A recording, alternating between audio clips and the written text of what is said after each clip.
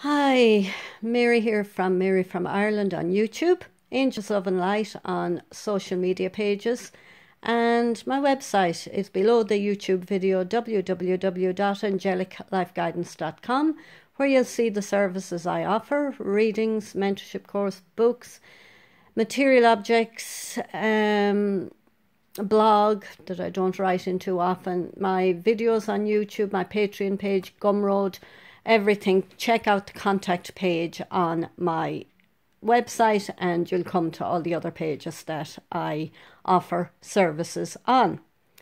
I just feel we need another reading today from the Magical Mermaids and Dolphins deck. I made a short video already. The card that came out was Simplify Your Life, but the video came out uh, upside down or, you know, not not the way it should have in the right frame. Now we'll choose another one and hopefully nobody walks in as I'm talking. Uh, here we'll go here. Ooh, okay, that's what we're doing. You're a powerful healer. Keep up the great work. Healing heart. So whatever you do for you affects everyone around you. See the way she has her hand on his heart there. These are American Indian spirit guides as well, if any of you resonate with them and need to call them in. She has her hand on his heart. The feminine energy is healing the old patriarchal energy. Got closer there. Uh, funny, isn't it? How it just. There you go. So we're bringing in the softer feminine energy, whether you're, whether you're male or female, it, we have both inside us.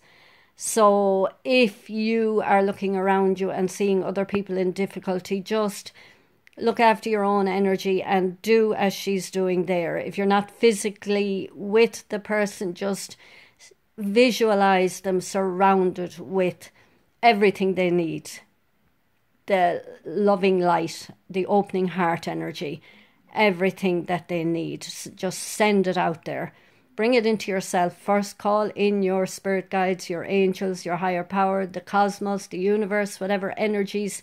Ask for help for yourself first and then pass it around to others. And the other card was simplify your life, start decluttering anything you don't need in your house you know, anything that doesn't bring you joy and happiness, let it go. So love and light to you. May talk to you again tomorrow now, and then again maybe I may not because I'm babysitting my one and a half year old grandson tomorrow and the next day. So um, we'll see. We'll see what kind of quiet time I have during that. He's walking now, and he's very, very, very busy, and wants to be out all the time, of course. so love and light to you. Talk to you soon.